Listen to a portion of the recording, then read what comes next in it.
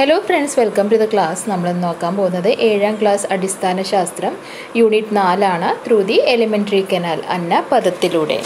ക്ലാസ്സിൽ പറഞ്ഞ കാര്യങ്ങൾ ഇതൊക്കെയായിരുന്നു. രക്തത്തിലേക്ക് എന്തൊക്കെ എത്തുന്നുണ്ട്? ഓക്സിജൻ വരുന്നുണ്ട് ശ്വാസകോശത്തിൽ നിന്നും. അതുപോലെ തന്നെ യൂറിയ കരളിൽ നിന്ന് വരുന്നുണ്ട്. കാർബൺ ഡയോക്സൈഡ് കോശങ്ങളിൽ നിന്ന് വരുന്നുണ്ട്. അതുപോലെ തന്നെ ദഹിച്ച ആഹാരം. ഡൈജസ്റ്റഡ് ഫുഡ് ചെറുകുടലിൽ നിന്ന് വരുന്നുണ്ട്. ഇന്ന് പുതുതായി പറഞ്ഞത് എന്താണ്? വൃക്കയെ പറ്റിയാണ് പറഞ്ഞതല്ലേ? നമ്മുടെ രക്തം ശുദ്ധീകരിക്കുന്ന ഒരു അവയവമാണ് വൃക്ക അല്ലെങ്കിൽ കിഡ്നി എന്ന് പറഞ്ഞാൽ.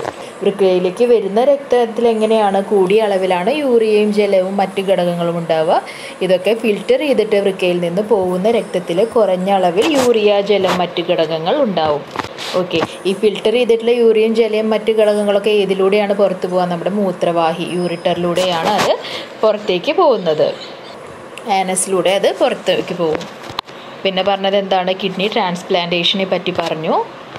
നന്നായി വെള്ളം കുടിച്ചാൽ മാത്രമേ വൃക്കയുടെ ആരോഗ്യം നമുക്ക് സംരക്ഷിക്കാൻ പറ്റുള്ളൂ എന്ന് പറഞ്ഞു. പിന്നെ പറഞ്ഞത് ഹ്യൂമൻ സ്കിന്നിനെ പറ്റിയാണ് തൊലിയെ പറ്റിയാണ് പറഞ്ഞത്. There is skin all over the body the skin covers and protects the body and organs the skin helps to maintain a constant body temperature ശരീരത്തിൽ എല്ലായിടത്തും തൊക്കുണ്ട് തൊലി ശരീരത്തെയും അവയവങ്ങളെയും പൊതിഞ്ഞ് സംരക്ഷിക്കുന്നു. ശരീര താപനില സ്ഥിരമായി നിലനിർത്താൻ തൊലി സഹായിക്കുന്നു. എങ്ങനെയാണ് സ്ഥിരമായി താപനില നിലനിർത്തുന്നത്? ചൂട് കൂടുമ്പോൾ നമ്മുടെ ആ ത്വക്കിലെ ആ വിയർപ്പ് ഗ്രന്ഥികളിലൂടെ വിയർപ്പ് പുറത്തേക്ക് പോവുകയും ടെമ്പറേച്ചർ നോർമലിലേക്ക് ആവുകയും ചെയ്യുന്നു.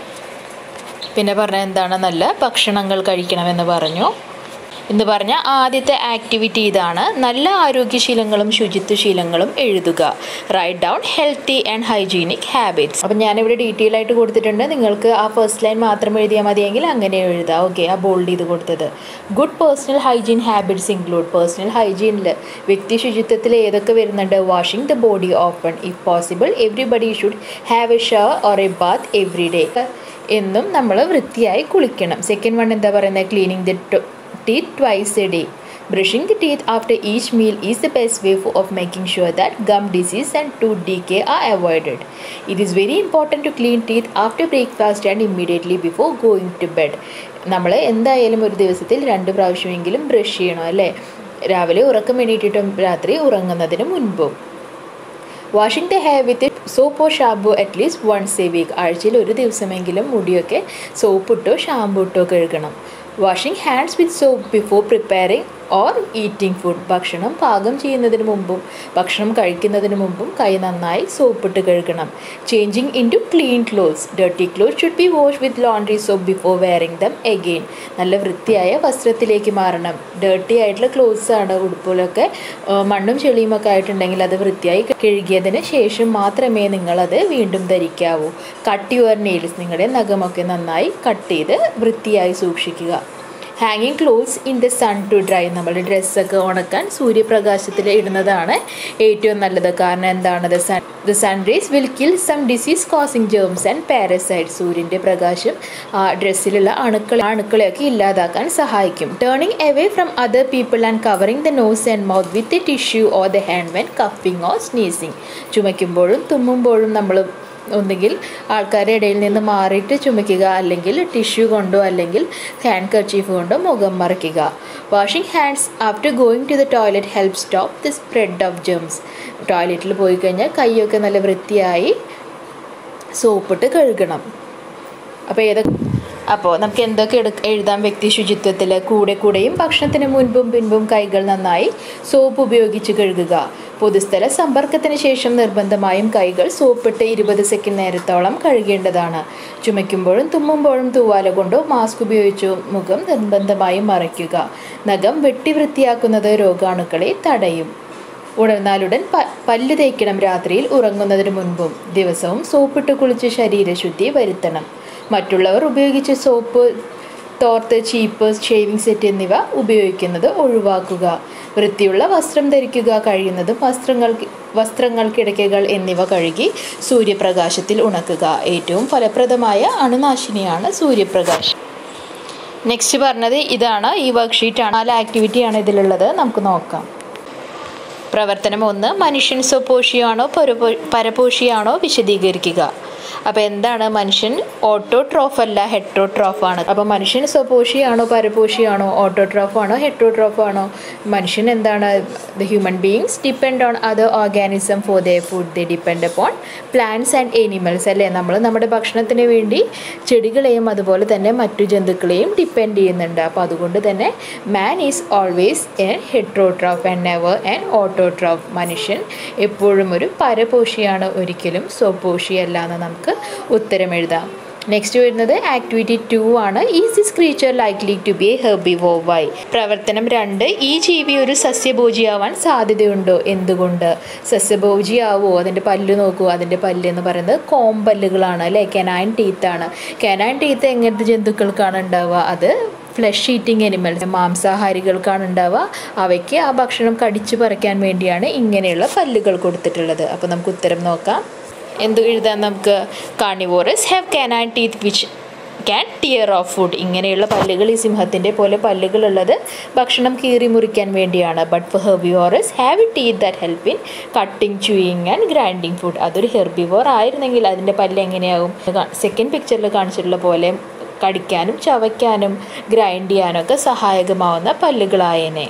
ഓക്കെ. മാംസാഹാരിയാണ് നമ്മൾ ഓൾറെഡി പറഞ്ഞു. മാംസാഹാരികൾക്ക് ആഹാരം കടിച്ചു കീറാൻ പാകത്തിലുള്ള കോമ്പല്ലുകളുണ്ട്. എന്നാൽ സസ്യാഹാരികളിൽ കടിച്ചു മുറിക്കാനും ചവച്ചരയ്ക്കാനും സഹായകമായ പല്ലുകളാണ് ഉള്ളത്.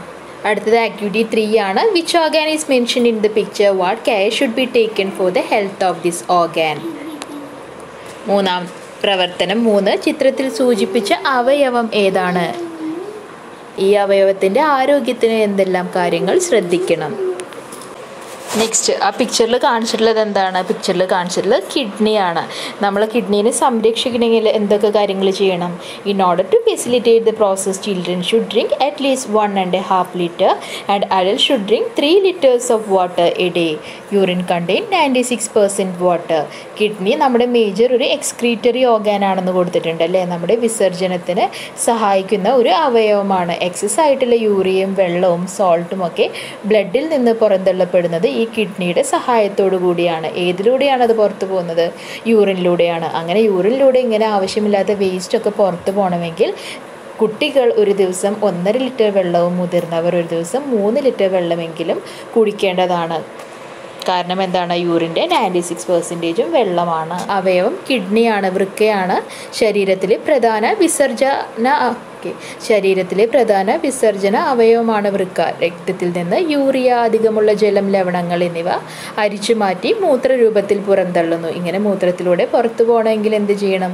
കുട്ടികൾ ദിവസം ഒന്നര ലിറ്ററും മുതിർന്നവർ മൂന്ന് ലിറ്ററും വെള്ളമെങ്കിലും കുടിക്കേണ്ടതാണ്. മൂത്രത്തിൽ തൊണ്ണൂറ്റാറ് പെർസെന്റേജും ജലമാണ്. നെക്സ്റ്റ് പറഞ്ഞത് പ്രവർത്തനം ആക്ടിവിറ്റി ഫോർ ആണ് Zaheer is writing about idli's journey read a part of it I travel through the narrow pipe and now I have reached a large room some chemicals fall on my body the wall of the room is coming to crush me where has idli now arrived and where to go ഇഡ്ഡലിയുടെ യാത്ര എഴുതുകയാണ് സഹീർ. അതിലെ ഒരു ഭാഗം വായിക്കൂ. ഇടുങ്ങിയ കുഴലിലൂടെ തിങ്ങി ഞെരുങ്ങി യാത്ര ചെയ്തു ഞാനിപ്പോൾ എത്തിച്ചേർന്നത് വലിയൊരു അറയിലാണ്. ഏതായിരിക്കും ആ അറ? ഏതായിരിക്കും ആ കുഴൽ? ആ കുഴൽ എന്ന് പറഞ്ഞ് ഇവിടെ ഉദ്ദേശിക്കുന്നത് ഈസോഫാഗസിനെ അന്നനാളത്തിനെയാണ് ഉദ്ദേശിക്കുന്നത്. അങ്ങനെ ആ കുഴലിലൂടെ പോയിട്ട് എത്തുന്നത് എവിടെയാണ്? അറ എന്ന് പറയുന്നത് സ്റ്റൊമക്കാണ് നമ്മുടെ വയറിന്റെ ഉള്ളിലേക്കാണ് എത്തുന്നത്. എന്തൊക്കെയോ രാസവസ്തുക്കൾ എന്റെ ശരീരത്തിൽ വീഴുന്നു. എന്താണ് രാസവസ്തുക്കൾ അവിടെ നടക്കുന്നത്? കെമിക്കൽ ഡൈജഷൻ ആണല്ലേ നമ്മുടെ വയറിന്റെ ഉള്ളിൽ ദഹനത്തിന് വേണ്ട ജ്യൂസസ് ഒക്കെ ഉൽപ്പാദിപ്പിക്കുന്നുണ്ട്. അതും ഭക്ഷണവുമായി ചേർന്ന് ഭക്ഷണത്തിന്റെ ദഹനം നടക്കുന്നുണ്ട്. നെക്സ്റ്റ് എന്താ പറയുന്നത് അറയുടെ ഭിത്തി എന്നെ ഞെരിച്ചമർത്താൻ വരുന്നു. അതെന്താണ്? അത് മെക്കാനിക്കൽ ഡൈജഷൻ ആണ്. നമ്മുടെ സ്റ്റൊമക്കിന്റെ വയറിന്റെ ആ ഓക്കെ ആ വയറിന്റെ ആ പാളികൾ ഈ ഭക്ഷണത്തെ ദഹിപ്പിക്കുന്ന ആ പ്രക്രിയയാണ്. ആ കോൺട്രാക്ഷനും എക്സ്പാൻഷനും നടക്കുന്നുണ്ടല്ലോ. ആ ചുങ്ങുന്നതും നിവരുന്നതും നടക്കുന്നുണ്ട്. അപ്പോൾ അതിനെയാണ് ഈ ഞെരിച്ചമർത്തൽ എന്ന് പറയുന്നത്. അപ്പോൾ ഇഡ്ഡലി ഇപ്പോൾ എത്തിച്ചേർന്നത് എവിടെയാണ്? The idli is now in the stomach എന്ന് എഴുതാം. വയറിന്റെ ഉള്ളിലാണ് ഇപ്പോൾ ഇഡ്ലി ഉള്ളത്.